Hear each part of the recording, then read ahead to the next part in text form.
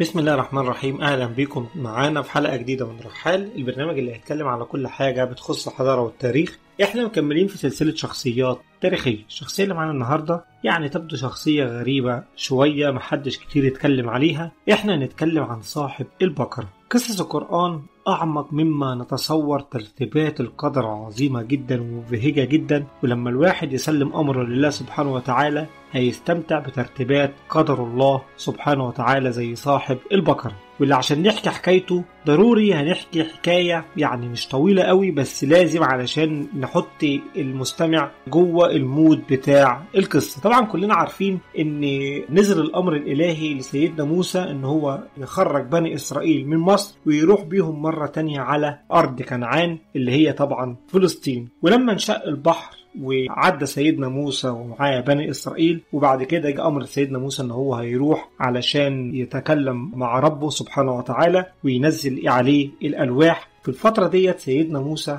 غاب شوية لما رجع لقى إيه؟ لقى إن واحد من بني إسرائيل اللي هو السامري عمل عجل من ذهب وبني إسرائيل بدأوا يتعبدوا للعجل ده وده طبعا كان أمر عظيم جدا إضافة إن هم كمان رفضوا يدخلوا الحرب أو يقاتلوا جنب سيدنا موسى ضد العماليق. طبعا الرد بتاعهم كان مستفز جدا اللي هو مليان جحود. قالوا له إيه بمنتهى الوقاحة اذهب أنت وربك فقاتلا إنها هنا قاعدون من ضمن الحاجات كمان اللي خلت بني إسرائيل ما يسمعوش كلهم لسيدنا موسى عليه السلام كان وسط بني إسرائيل كان في ناس ذو مكانة كبيرة يعني بيتمتعوا بسلطة كهنوتية ودنيوية عن غيرهم وده طبعا خلاهم رافضين الانصياع لكلام سيدنا موسى عليه السلام وبينافسوه في قيادة شعب الله المختار. طبعا نتج عن كده صراعات كتير جدا. يعني بعد كل المعجزات اللي شافوها على إيد سيدنا موسى برضو كان لسه فيهم حتة الكبر والجبروت ورافضين حتى إن هم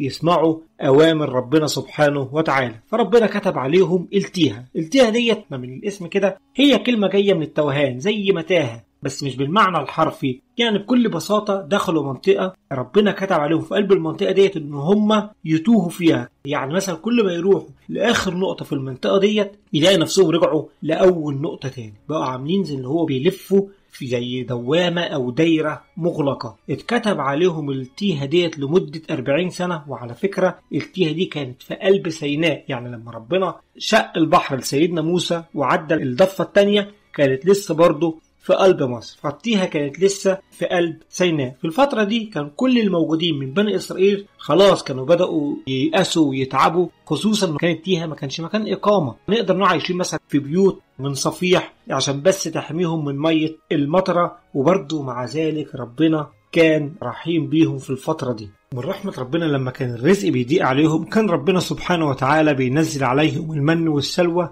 كمان لما كان المطر بينقطع كان على طول يجروا لسيدنا موسى علشان يدعو ربه ينزل عليهم الغيث من السماء. عاشوا على الحال دوت أربعين سنة وكأنهم في عالم موازي. يعني هم على الأرض وكأنهم مش على الأرض. طبعا أثناء التيها حصلت أحداث كتير جدا إحنا الأحداث دي عرفناها من كتب التفسير وطبعا الأساسي اللي هو القرآن زي مثلا موضوع بقرة بني إسرائيل واللي اتسمت أكبر سورة وأول سورة يعتبر في القرآن باسم الحدث ده. علشان نشرح القصة ديت الأول إحنا لازم نحطكم في الجو العام للقصة. طبعا بني إسرائيل كانوا عايشين بيوتهم كانت عبارة عن بيوت واخدة شكل دائري. كمان كان في زي ميدان في قلب الميدان دوت موجود المحراب اللي بيتعبد فيه سيدنا موسى. في الفترة دي كان عايش راجل غني جدا وعجوز جدا وبخيل. والراجل ده ما كانش عنده أولاد لكن كان عنده ولاد أخوه وكان كلهم طمعانين في الفلوس بتاعته. الراجل ده كان كل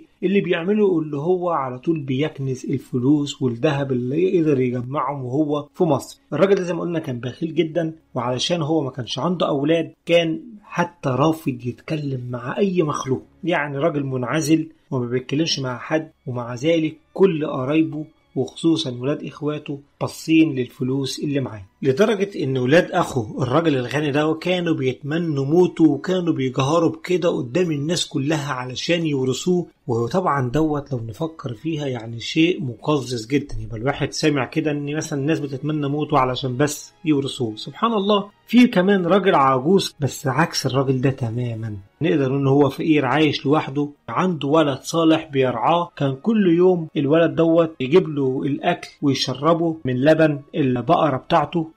الولد دوت كان مدار البقرة دي عن الكل علشان محدش يطمع فيها ويكون قادر من خلالها إن هو يقدر يطعم والده العجوز. كانوا عايشين في هدوء وبعيد عن كل الصخب اللي هو مالي مجتمع بني إسرائيل اللي كل شوية فيه صراعات. إذا كان مع سيدنا موسى بيخالفوا طبعا في رأي أو مشاحنات بينهم وبين بعض وطبعا ده حال اليهود. الولد دوت كان بر جدا بوالده وبيطيعه ومهتم بيه جدا زي ما هنشوف بعد كده. الولد كان يتيم الأم وعايش في طاعة الله وخدمة والده وزي ما قلنا إن هو كان فقير جدا يعني هو وأبوه ما كانش بيملكوا من الدنيا كلها غير البقرة اللي عندهم دي. البقرة دي كان شكلها غريب جدا كانت عجيبة بيأكل والده منها كانت هي كل ملكه كانت بالنسبة لهم بتساوي كل شيء. يعني لو هنتكلم بالنسبة للفقير البقرة مش غالية يعني هي بتساوي بضع دراهم تمام؟ لكن بالنسبة لهم عشان هي ملكهم الوحيد فكانت بتساوي عندهم كل حاجة. اللي إحنا عايزين نقوله هنا إن إحنا كده عندنا في القصة بتاعتنا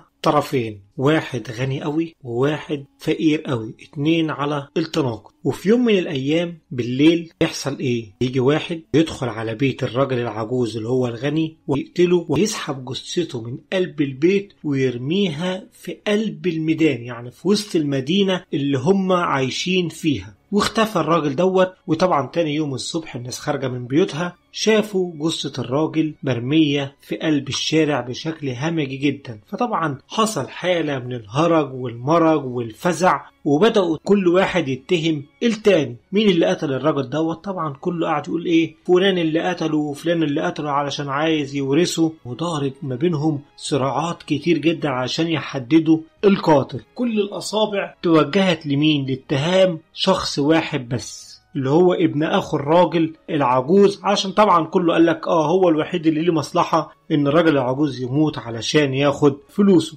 لكن طبعا الراجل بدأ يصرخ ويستنجد بالمرة ويأكد إن هو بريء من دم عمه وإن هو مش القاتل. وطبعا مع زيادة الصراعات ما بينهم قرروا في الآخر إن هم يروحوا لنبي الله موسى علشان يعتبر هو الحاكم والآمر الناهي في شؤون بني إسرائيل. طبعا سيدنا موسى قال يعني إيه؟ اللي عنده معلومة عن الواقعة يقول لي عليها علشان يتبين الأحداث وكلنا هنسمع الآراء. بس فعليا محدش كان عارف حاجة خالص وعلى وجه التحديد مفيش أي دليل مادي يقول إن الراجل ده قتل عمه. محدش شافه ولا حد يعرف أي حاجة خالص. الناس كانت فاكرة إن الوحي ينزل على سيدنا موسى مباشر يقول له إيه؟ القاتل هو فلان الفلاني وينتهي الموضوع على كده وبني إسرائيل نفسهم كانوا فاكرين كده. لكن اللي هيحصل غير كده خالص. سبحان الله القدر الإلهي عجيب وغريب جدا. سيدنا موسى لما بدأ يسأل ربنا ويتعبد لربنا فالوحي نزل عليه ربنا يأمرك أن تذبح بقرة. وفي حالة ذهول من الرد بني إسرائيل صاروا جدا على سيدنا موسى وقالوا له يعني فيما معناه يعني إحنا بنسألك عن الراجل المقتول ويعتبر اتمثل بجثته ومرمى جثته في قلب الشارع وأنت تقول لنا اذبحوا بقرة؟ سيدنا موسى قال فيما معناه أعوذ بالله. يعني أنا بقول اللي ربنا بيوحي لي بيه. وده سبحان الله كان وحي من ربنا علشان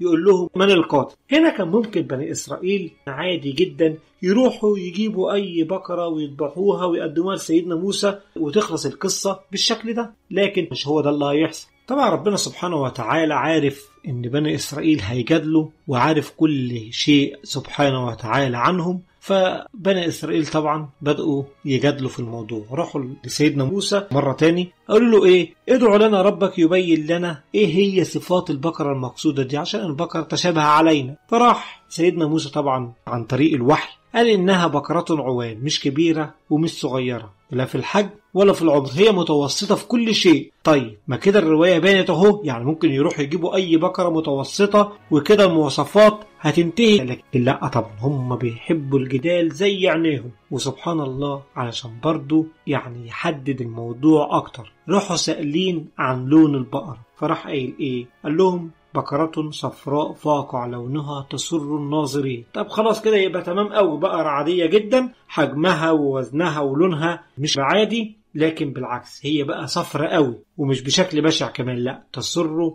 الناظرين. يبقى كده أكيد هي واحدة ولو إنهم هم طبعا بيحبوا الجدال وبيعشقوا إثارة الجدل سألوا تاني يعني عايزين يحددوا أكتر كمان. هم مش عارفين إن هم كده بيصعبوا الموضوع على نفسهم. كان الأول ممكن يروحوا يجيبوا أي بقرة وخلاص. تمام؟ بعد كده سألوا عن إيه طب اوصفها لنا أكتر. قال لك يعني متوسطة في العمر ومتوسطة في الوزن وفي كل حاجة. طب أكتر اوصفها لنا. قال لك فاقع لونها تسر الناظرين يعني لونها مبهج. قالوا له طب حدد لنا أكتر. راح سيدنا موسى قال لهم إيه؟ بقره ما تكونش بتشتغل في الأرض نهائي وما فيهاش أي عيب. يعني صحيحة من كل حاجة. مش عيانة مش بتعرج ما فيهاش أي عيب. لونها أصفر بالكامل ما فيهاش أي رقعة. يعني مثلا إيه؟ إحنا ساعات بنشوف البقر مثلا أبيض في أسود أو أصفر في أبيض كده. لا دي بقى كلها بقرة صفرة. تمام؟ لكن إحنا لو نركز ربنا سبحانه وتعالى اللي خلاهم عملوا كده علشان الفكرة أبعد من كده بكتير. ربنا عارف كل شيء وخالق كل شيء عارف طبيعة بني إسرائيل وإن هم هيجادلوا مع سيدنا موسى مجادلات كتير جدا. يعني سبحان الله ربنا سبحانه وتعالى عايز بقرة معينة والبقرة ديت عند حد معين. المهم واحد من اللي واقفين قال إيه؟ أنا عارف البقرة المقصودة هي عند ولد فقير بيرعى والده وعايش هو كل شغلته بيرعى البقرة دي علشان بيأكل بيها. والده وحالتهم يعني فقيرة جدا وعايش في ضواحي قرية كده بعيدة شوية فروحوا له. الولد طبعا كان مستغرب من الجمع الغفير اللي هو راح واقف عند بيته دوت يعني حاجة مش معتاد عليها. في البداية قالوا له إيه؟ إن البقرة دي مطلوبة لتنفيذ إرادة الله وهتساعدهم في حل قضية القتل اللي حصل للراجل الغني العجوز ده. طبعا الولد رفض وقال لهم إن دي هي مصدر الأكل بتاع والدي الوحيد ومن غيرها مش هقدر أرعاه ولا هو يقدر يعيش. فعرض عليه مبلغ من المال فرفض. طب خد وزنها ذهب برضه رفض. شوف بقى سبحان الله ربنا لما بيسوق الأقدار للناس سبحان الله تعالى. المهم طبعا مشوا في الأول وبعد كده طب الولد رفض خالص. فراح قال لك خلاص إحنا هنديله من فلوس الراجل الميت الراجل غني جدا. قالوا له طب إحنا نديك عشر أضعاف وزن البقرة دي ذهب. فطبعا على طول الولد وافق وخد منهم المال وسلمهم البقر على كده. فراحوا بيها لنبي الله موسى عليه السلام وراح أمرهم إن هم يذبحوا البقرة. بس أولاد أخو القتيل رفضوا يذبحوا بقرة ثمنها عشر أضعاف وزنها يعني البقرة غالية جدا. وقام بينهم بعض الخلاف. يبقى أنت القاتل وبدأوا يرموا الاتهامات على بعض. أنتوا خايفين تذبحوا البقرة علشان هيتضح مين القاتل. طبعا هم ما كانش الموضوع كده. هو الموضوع إن هم طمعانين في الفلوس يعني كده الفلوس راحت عشان يعرفوا القاتل. طبعا هم كانوا رافضين إن هم يذبحوا البقرة نهائي لكن طبعا الجدال انتهى إن هم لازم يذبحوا البقرة عشان يعرفوا مين القاتل. لو مش عايزين يعرفوا يبقى يرجعوا البقرة تاني وياخدوا فلوسهم. المهم إيه؟ بدأوا يفكروا في الموضوع وفي الآخر اتفقوا على إن هم يذبحوا البقرة. فراحوا واخدينها ومعاها. القتيل وراحوا عند سيدنا موسى فأمرهم انهم يضربوا جزء من البقرة بجثمان القتيل. وفعلا يعني في ناس قالت إن هو خد جزء من فخذ البقرة وفي ناس قالت لا قطعه ما بين الكتفين. يعني الأقوال اختلفت هو أي جزء اللي اتاخد من البقرة وضربوا بيه القتيل. أول ما ضربوه بيه استعاد القتيل دوت أنفاسه وفاق وعاد للحياة ونفض عن جسده الدماء وبص للكل مش مصدق اللي بيحصل. سبحان الله منظر يعني رهيب جدا. ومحدش من اللي حواليه أصلا كان مصدق يعني نقدر نقول الفزع كان مسيطر عليهم كلهم. اقترب سيدنا موسى منه بمنتهى الهدوء والرفق كده وراح سيدنا موسى سأله من الذي قتلك؟ قال قتلني ابن أخي وأشار بإصبعه وسبحان الله بعد ما أشار بإصبعه فورا رجع للموت. فالجميع طبعا عرف القاتل وانفض المجلس وبكده سبحان الله كل فلوس الراجل الغني اللي هو القتيل راحت لمن يستحق بدلا من من لا يستحق. وبطريقة قدرية جدا محدش يقدر يتوقعها. في أول القصة يعني إيه اللي جاب الشرق جنب الغرب؟ يعني واحد غني جدا وواحد فقير جدا. وسبحان الله ربنا لما بيجمع الأقدار بيكون سبحان الله له في ذلك حكم. بكده تخلص حلقتنا النهاردة. وأشوفكم بإذن الله تعالى في حلقة جديدة من رحال. والسلام عليكم ورحمة الله وبركاته. لا تنسوا الاعجاب بالفيديو والاشتراك في القناة. تشجيعا لنا لنستمر بنشر المزيد إن شاء الله.